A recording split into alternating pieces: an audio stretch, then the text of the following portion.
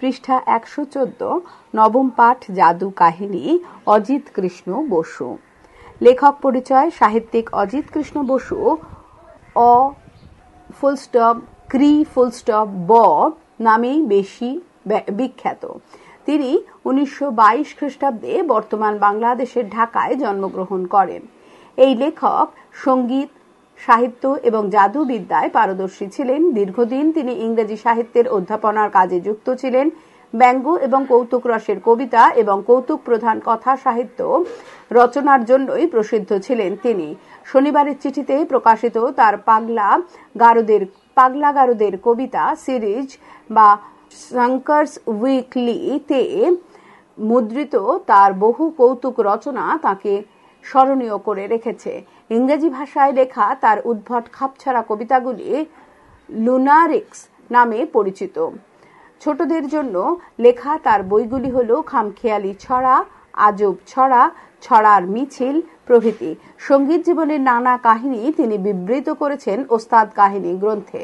মঞ্চে কখনো জাদু প্রদর্শন না করলেও বন্ধু জাদু সম্রাট পিসি সরকারের সঙ্গে সমান্তরালভাবে দীর্ঘদিন জাদু চর্চা করেছেন তিনি। জাদুকরদের বিচিত্র জীবন এবং নানা কৌতূহলোদ্দীপক ঘটনা নিয়ে লেখা তার জাদু কাহিনী বইটি উনিশশো সালে দিল্লি বিশ্ববিদ্যালয় থেকে পেয়েছে নরসিংহ দাস পুরস্কার। উনিশশো তিরানব্বই খ্রিস্টাব্দে তিনি ইহলোক ত্যাগ করেন। সারমর্ম জাদু কাহিনী গল্পটি স্পষ্টত দুটি পর্যায়ে বিভক্ত। প্রথম পর্যায়ে লেখক ইংল্যান্ডের একজন বিখ্যাত জাদুকর ডেভিড ডেভান্ট এর ব্যক্তি জীবনের একটি অভিজ্ঞতার গল্প বলেছেন। কাহিনীর দ্বিতীয় পর্যায়ে সেই গল্পের সূত্রে এসেছে লেখকের ছাত্র জীবনের স্মৃতিচারণ।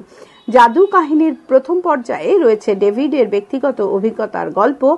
ডেভিড ডেভান্ট জাদুর খেলা দেখাবার সময় কৃপনের স্বপ্ন বা মিসার্স ড্রিম নামে একটি জাদুর খেলা দেখাতেন। প্রকৃতপক্ষে এই খেলা দেখাতে গিয়ে জাদুকররা আগে থেকেই তাদের হাতে তালুতে এক বা একাধিক টাকা লুকিয়ে রাখেন। খেলা দেখানোর সময় সেই লুকোনো জায়গা থেকে টাকাগুলি এমন কৌশলে বার করেন যাতে দর্শকদের মনে হয় জাদুকর হাওয়া থেকে টাকাগুলি ধরছেন। দর্শকদের এই ভাবনার জন্যই একদিন জাদুকর ডেভিড ডেভান্ট একটা অভিজ্ঞতার সম্মুখীন হয়েছিলেন। একদিন সন্ধ্যেবেলা একটা নির্জন পথ দিয়ে তিনি একা ঘরে ফিরছিলেন। জুয়ান চেহারার এক লোক হঠাৎই তাকে পাকড়াও করে। সেই বলৌশালী লোকটির একান্ত দাবি তার খোলা টুপিটাকে টাকায় ভরে দিতে হবে। কারণ অর্থাভাবে সে নাকি শুকিয়ে মরছে। অনেক ভেবেও নাছরবান্দা লোকটির হাত থেকে কীভাবে মুক্তি পাওয়া যায় তা বুঝতে পারলেন না। তার পকেটে ছিল ছটি সিলিং। নিরুপায় হয়ে সেই ছটি সিলিং নিয়েই তিনি খেলা দেখাতে শুরু করলেন। জাদুকর সুলভ ভঙ্গিতে হাওয়ায় হাত চালিয়ে হাওয়া থেকে একটা সিলিং ধরে তিনি সেই মস্তান লোকটি টুপির মধ্যে ফেলে দিলেন। মস্তান লোকটি বেশ খুশি হলো। জাদুকর ডেভান্ট ভালো মতনই জানেন যে হাওয়া থেকে ওই ছটি সিলিং এর বেশি তিনি ধরতে পারবেন না। আর ওই ছটি মাত্র সিলিং দিয়ে ওই মস্তান লোকটির টুপিও ভরবে না। এই ঘটনা দেখার পর লোকটি খেপে গিয়ে হয়তো জাদুকরকে পিটিয়েই দিতে পারে। মার খাওয়া কপালে আছে জেনেই জাদুকর ডেভান খুব আস্তে আস্তে অনেকখানি সময় নিয়ে খেলা দেখাতে লাগলেন, যাতে খেলা চলাকালীনই অন্য কোনো পথচারী এসে তাকে উদ্ধার করতে পারে। চারটি মাত্র সিলিং হাওয়া থেকে ধরে ওই লোকটির টুপিতে রাখার পর তিনি আস্তে আস্তে পঞ্চম সিলিংটা ধরবার আয়োজন করতে লাগলেন। এমন সময় চার পাঁচজন লোক ঘটনাস্থলে এসে হাজির হলো। তাদের মুখ থেকে জাদুকর ডেভান্ট জানতে পারলেন যে ওই মস্তান লোকটির মাথা খারাপ। আরও জানলেন, ওই খ্যাপা লোকটাকে খুঁজতেই তারা বেরিয়েছে।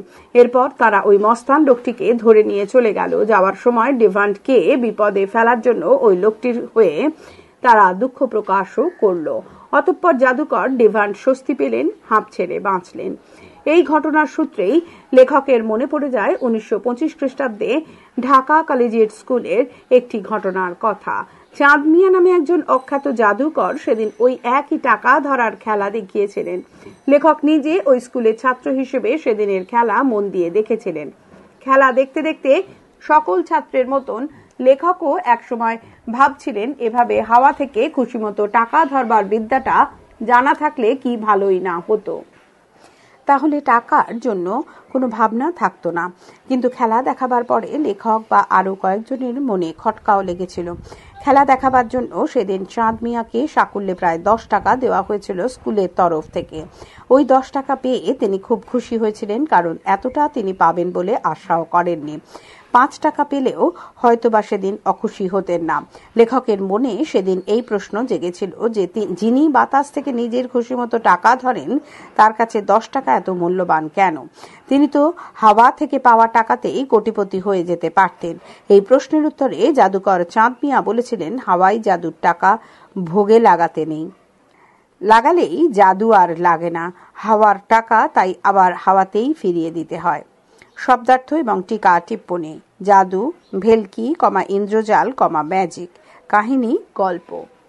পৃষ্ঠা একশো পনেরো। জাদুকর, যিনি জাদুর খেলা দেখান, জনবিরল, প্রায় লোকজনবিহীন, জোয়ান, যুবক, বলবান ব্যক্তি, পাকড়াও, প্রচণ্ড পিড়াপিড়ি করা, সবলে ধরা একদিন, এতদিন ঘাবড়ে থতমত খেয়ে সামলে নিয়ে সংযত হয়ে মাপ, ক্ষমা, কমা মার্জনা, চিত, ঊর্ধ্বমুখে শয়ান, কুস্তি, মল্লযুদ্ধ, নির্জন, জনহীন, চটানো, রাগালো, ঠান্ডা মাথায় স্থির মনে তল্লাশি, খোঁজ, কমা, অনুসন্ধান, সিলিং, গ্রেট ব্রিটেনের মুদ্রা ছো অবজ্ঞাসূচক অব্যয় ঝপাঝপ খুব তাড়াতাড়ি চালাকি চাতুরী কৌশল চাতুর্য গুপ্তস্থান গোপন জায়গা বিয়ারা বিশ্রী বেয়াক্কেলে কাণ্ডজ্ঞানহীন বেদরদি, দরদ বা সমবেদনা নেই এমন অর্থাভাবে, অর্থের বা পয়সার অভাবে শুকিয়ে মরছি না খেয়ে মরে যাচ্ছি।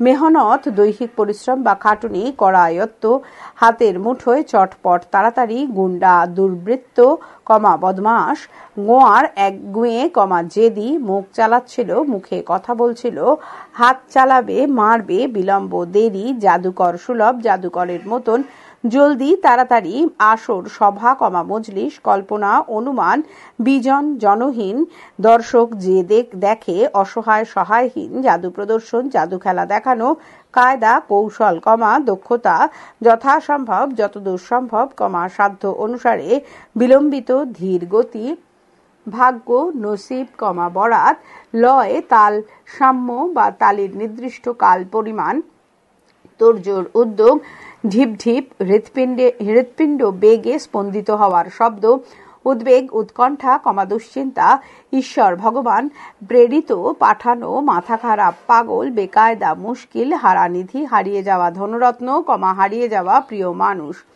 হাফ, উদ্বেগের শেষে স্বস্তির নিঃশ্বাস, অভিজ্ঞতা, অর্জিত জ্ঞান, খটকা, সন্দেহ, দক্ষিণা।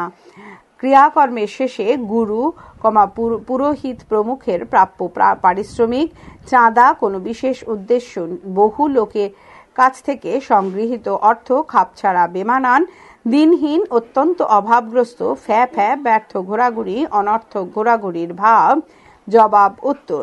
সংযোজিত প্রশ্ন প্রশ্ন এক, নিম্নলিখিত শব্দগুলিকে বিশেষ্য থেকে বিশেষণে এবং বিশেষণ থেকে বিশেষে রূপান্তরিত করে বাক্য রচনা করো। সন্ধ্যা বিশেষ্য শান্ত বিশেষণ। বৈদ্যনাথবাবু একটু আগে শান্ত ভ্রমণ সেরে ফিরেছেন। নির্জন বিশেষণ, নির্জনতা বিশেষ্য। সকলে নির্জনতা পছন্দ করে না। চালাকি বিশেষ্য, চালাক বিশেষণ। বঙ্কিমবাবু বেশ চালাক লোক। কৌশল বিশেষ্য, কৌশলী বিশেষণ।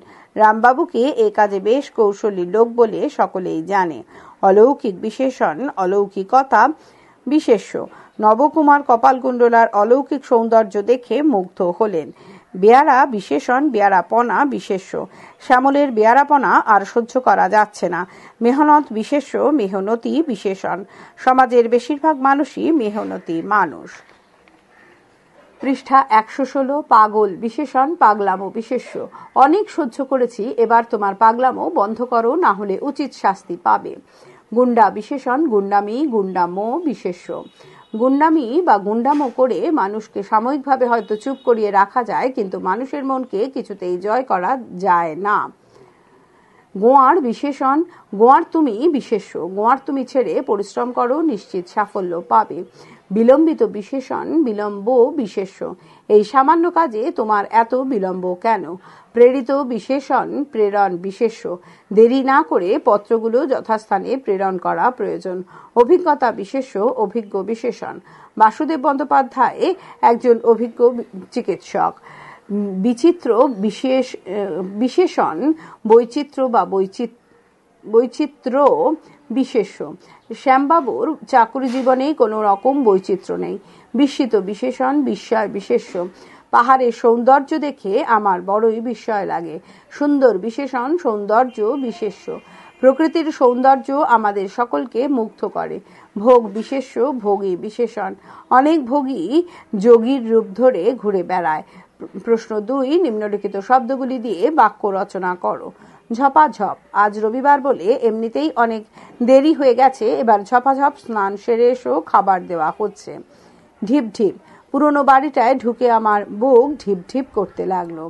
ফ্যা ফ্যা, বেকার ছেলেটা ফ্যা ফ্যা করে ঘুরছে, দেখলে কষ্ট হয়। চটপট চটপট প্রশ্নগুলির উত্তর লিখে দাও। কুস্তি, শরীরচর্চার জন্য আগেকার দিনে অনেক লোকই কুস্তি শিখত।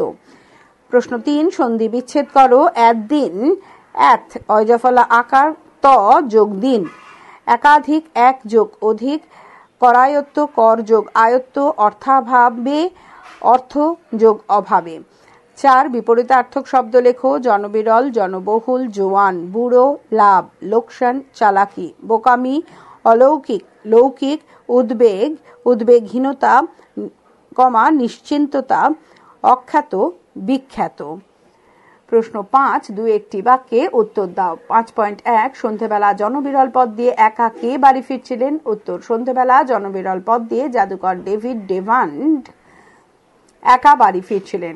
প্রশ্ন পাঁচ পয়েন্ট দুই, জনবিরল পথে জাদুকর ডেভান্টের পথ আটকে ছিল কে? উত্তর, জনবিরল পথে জাদুকর ডেভান্টের পথ আটকে ছিল একটি জোয়ান চেহারা লোক। পাঁচ পয়েন্ট তিন, লোকটি পথ আটকে ডেভান্টকে কি বলেছিল? উত্তর, লোকটি পথ আটকে ডেভান্টকে বলেছিল, তার টুপিটি সিলিং দিয়ে ভরে দিতে। পাঁচ পয়েন্ট চার ডেভান্টের পকেটে কত সিলিং ছিল? উত্তর, ডেভান্টের পকেটে ছ সিলিং ছিল। পাঁচ পয়েন্ট পাঁচ কৃপা কৃপণের স্বপ্ন স্বপ্ন কি? এর অন্য নাম কি? উত্তর, কৃপণের স্বপ্ন হলো একটি জাদুর খেলা যেখানে দর্শকের হাত খালি দেখিয়ে হাত হাওয়া থেকে টাকা ধরে পাত্রে ফেলা হয়। এই খেলার অন্য নাম হাওয়াই টাকশাল। পাঁচ পয়েন্ট ছয়, জাদুকর ডেভান্ট লোকটির কথায় কেন জাদুর খেলা দেখাতে শুরু করলেন? উত্তর, জাদুকর ডেভান্ট বুঝতে পেরেছিলেন যে লোকটি গুন্ডা গোয়ার বা পাগল। সে মুখ চালাতে চালাতে, হাতও চালাতে পারে, তাই বিলম্ব না করে তিনি শূন্য থেকে টাকা আনার খেলায় লেগে পড়লেন। পাঁচ পয়েন্ট সাত, পাগল লোকটির হাত থেকে জাদুকর ডিভান্ড কীভাবে মুক্তি পেয়েছিলেন? উত্তর, পাগল লোকটিকে ঠান্ডা রাখতে অত্যন্ত ধীর গতিতে শূন্য থেকে যখন সেলিং নামাচ্ছিলেন জাদুকর ডেভান তখনই সেখানে পাগলা লোকটির খোঁজে যেন ঈশ্বর প্রেরিত হয়েই চার পাঁচজন লোক হাজির হয়। তারা লোকটিকে নিয়ে চলে যাওয়ায় ডেভান্ট মুক্তি পেয়েছিলেন। পাঁচ পয়েন্ট আট, জাদুকর ডেভান্টের অভিজ্ঞতার কাহিনী সূত্রে লেখকের কার কথা মনে পড়ে গিয়েছিল। উত্তর, জাদুকর ডেভান্টের অভিজ্ঞতার কাহিনী সূত্রে লেখকের মনে পড়েছিল স্কুলে দেখা জাদুকরের চাঁদ মিয়ার কথা। পাঁচ পয়েন্ট নয়, কোন স্কুলে পাঁচ পয়েন্ট নয়, কোন স্কুলের পড়ার সময় লেখক চাঁদ মিয়ার খেলা দেখেছিলেন? উত্তর, ঢাকা কলেজের স্কুলে পড়ার সময় লেখক চাঁদ মিয়ার খেলা দেখেছিলেন। পাঁচ পয়েন্ট দশ, জাদুকর চাঁদ মিয়াকে নিয়ে লেখকের কেন খটকা লেগেছিল? উত্তর যে জাদুকর হাওয়া থেকে সহজেই টাকা ধরে আনে, দশটা টাকা স্কুল থেকে পেয়ে তাকে খুব খুশি হতে দেখে লেখকের খটকা লেগেছিল। প্রশ্ন ছয়, পাঁচ ছ বাক্যে নিচের প্রশ্নগুলির উত্তর দাও। ছয় পয়েন্ট এক, জাদুকর ডেভান্ট কেন তার পথ আটকানো লোকটির কাছ থেকে পালাবার চেষ্টা করেননি? উত্তর উত্তর একদিন ইংল্যান্ডের একটি জনবিরল পথ দিয়ে বাড়ি ফেরার সময় জাদুকর ডেভিড ডেভান্টকে পাকড়াও করে একজন অপরিচিত লোক দাবি করে যে তার চিত করে রাখা টুপিটিকে ডেভান যেন সিলিং দিয়ে ভরে দেন। লোকটির এই দাবি অন্যায্য এবং তা মেটানো অসম্ভব বুঝেও ডেভান্ট কিন্তু সেই লোকটির হাত থেকে ছুটে পালাবার বিন্দুমাত্র চেষ্টা করেননি। কারণ লোকটি জোয়ান চেহারার ফলে সন্ধ্যাবেলায় নির্জন পথে দৌড়ে বা কুস্তি করে তিনি লোকটির সঙ্গে পেরে উঠবেন না। তাছাড়া চেঁচিয়ে ডাকলেও সেই নির্জন পথে কারোর সাহায্য পাওয়া যাবে না। তাই পথ আটকানো লোকটির কাছ থেকে পালানোর চেষ্টা না করে কৌশলের মাধ্যমে তার হাত থেকে রক্ষা পেতে চেয়েছিলেন ডেভান্ট। পৃষ্ঠা একশো সতেরো প্রশ্ন ছয় পয়েন্ট দুই, লোকটি কেন তার টুপিটিকে সিলিং দিয়ে ভরে দেওয়ার আবদার করেছিল ডেভান্টের কাছ থেকে? উত্তর, পাগলা লোকটির সঙ্গে কথোপকথন সূত্রে ডেভান্ট বুঝতে পেরেছিলেন যে লোকটি নিশ্চয় তার দেখানো কৃপানের স্বপ্ন বা হাওয়াই টাকশাল ম্যাজিকটি কখনো দেখেছিল। সেই থেকেই লোকটির বিশ্বাস জন্মেছে যে বাতাস থেকে টাকা ধরবার কৌশল ডেভান্টের করায়ত্ত। বাতাস থেকে টাকা ধরার কৌশল ডেভান্টের করায়ত্ত। তাই লোকটি ডেভান্টের কাছ থেকে আবদার করেছিল, ডেভান্ট যেন লোকটির চিত করে রাখা টুপিটিকে সিলিং দিয়ে ভর্তি করে দেন। মঞ্চের জাদুকরকে সামনাসামনি পেয়ে লোকটি সহজে অর্থ লাভ করার সুযোগ ছাড়তে চায়নি। তাই এর আবদারের পেছনে অবশ্য তার দাবি, অবস্থা থেকে মুক্তির একটা বাসনাও কাজ করেছিল। প্রশ্ন ছয় পয়েন্ট তিন ডেভান্ট কীভাবে সেই লোকটির হাত থেকে উদ্ধার পেয়েছিল? উত্তর, জনবিরল পথে একটি পাগলা লোক জাদুকর ডেভানকে পাকড়াও করে জাদুর মাধ্যমে তাকে শূন্য থেকে অর্থ এনে দিতে বলে। তার দাবি, মেটাতে ডেভান সেই একটিমাত্র দর্শকের সামনেই তার জাদু প্রদর্শন শুরু করেন। ডেভান্টের কাছে তখন মাত্র ছ সেলিং থাকায় জাদুবিদ্যার সাহায্যে কিছুতেই তার পক্ষে হওয়া থেকে ছ সিলিং এর বেশি এনে সেই পাগলা লোকটির চিত করা টুপির মধ্যে ফেলা সম্ভব ছিল না। ফলে তিনি বাধ্য হয়েই অত্যন্ত ধীর গতিতে খেলা দেখানো শুরু করেন যাতে সেই নির্জন পথে কোনো না কোনো লোক সেই সময়টুকুর মধ্যে চলে আসতে পারে। ডেভান্টের ভাগ্য ভালো, তিনি হাওয়া থেকে যখন পঞ্চম সিলিংটি ধরবার তোড়জোড় করছেন, তখন অনেকটা ঈশ্বর প্রেরিত দূতের মতোই চার পাঁচজন লোক সেই জায়গায় আসে এবং সেই পাগলা লোকটিকে সঙ্গে নিয়ে চলে যায়। এইভাবেই ডেভান সেই পাগলা লোকটির হাত থেকে উদ্ধার পেয়েছিলেন। ছয় পয়েন্ট চার, সঙ্গে সঙ্গে আমাদের কয়েকজনের মনে একটু খটকাও লেগেছিল। কাদের মনে কেন খটকা লেগেছিল? উত্তর, এখানে আমাদের কয়েকজনের মনে বলতে লেখক অজিত কৃষ্ণ বসু এবং তার স্কুলের সহপাঠীদের কথা কথা বোঝানো হয়েছে। লেখক অজিত কৃষ্ণ বসু উনিশশো পঁচিশ খ্রিস্টাব্দে যখন ঢাকা কলেজিয়েট স্কুলের ছাত্র, সেই সময় চাঁদ মিয়া নামক এক অখ্যাত জাদুকর এক ঘণ্টা ধরে স্কুলের ছেলেদের জাদু খেলা দেখিয়েছিলেন। জাদুকর চাঁদ মিয়া যে খেলা সেদিন দেখেছিলেন তা হলো কীভাবে হাওয়া থেকে খুশি মতো টাকা ধরা যায়। এই ধরনের খেলা কৃপনের স্বপ্ন বা হাওয়াই টাকশাল নামে খ্যাত। খেলা দেখিয়ে ছাত্রদের মনোরঞ্জনের জন্য সেদিন জাদুকরকে প্রায় দশ টাকা পারিশ্রমিক হিসেবে দেওয়া হয়েছিল। সেই দশ টাকা পেয়ে জাদুকর এত খুশি হয়েছিলেন যে এতেই লেখকের মনে একটু খটকা লাগে। কারণ যিনি হাওয়া থেকে নিজের মর্জি মাফিক টাকা ধরতে পারেন, দশ টাকা পাওয়ার পরে তার আনন্দ লেখক এবং তার বন্ধুদের বিস্মিত করে করে, এ কারণেই তাদের মনে খটকা লেগেছিল। ছয় পয়েন্ট পাঁচ, জাদুকর চাঁদ মিয়া লেখক এবং তার বন্ধুদের কি বলেছিলেন? উত্তর, জাদুকর জাদুকর চাঁদ মিয়া লেখক এবং তার বন্ধুদের বলেছিলেন যে, হাওয়া থেকে তিনি যে টাকা ধরতে পারেন, সেই টাকাকে কখনো নিজের ভোগে লাগান না। কারণ সেটি করলে পরবর্তীকালে তার জাদু আর কাজে লাগবে না। তাই হাওয়ার টাকা আবার হাওয়াকেই ফিরিয়ে দেন।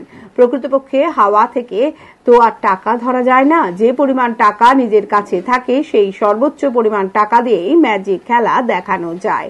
এই ধরনের কৃপণের স্বপ্ন বা হাওয়াই ট্যাক্সাল খেলা মূলত নির্ভর করে হাতের তালুতে লুকিয়ে রাখা এক বা একাধিক টাকার ওপর এবং সেই জায়গা থেকে তা আবার করার কৌশলের ওপর।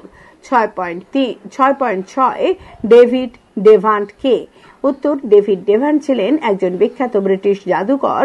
আঠারোশো আটষট্টি সালে বাইশে ফেব্রুয়ারি তার জন্ম হয় লন্ডনের পিকাডিলের ইজিপশিয়ান হল এ। তিনি প্রায় নিয়মিত তার জাদু খেলা প্রদর্শন করতেন। তার বিখ্যাত জাদু খেলাগুলির মধ্যে অন্যতম হল ম্যাজিক ম্যাজিক ক্যাটল এবং ম্যাসকট মথ। উনিশশো সালে তেরোই অক্টোবর তিনি মারা যান। জাদু কাহিনী এখানেই শেষ হলো। পরবর্তী নবম পাঠ গাধার কান, পরবর্তী ফাইলে।